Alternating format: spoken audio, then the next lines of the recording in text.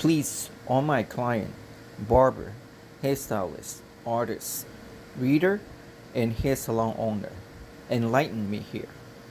If the hairdressers answer five phone call during your haircut, service five just walk-in client and make appointment for them. And most most of all, collect money and don't wash the hand during your haircut, would you still go back to that hairdresser? Hashtag, it is your hairdressers for 10 years. Hashtag, you can add all the rest of the reason. This is Hair Professor. I see you tomorrow. Remember, call me when you want to look good and text me when you don't.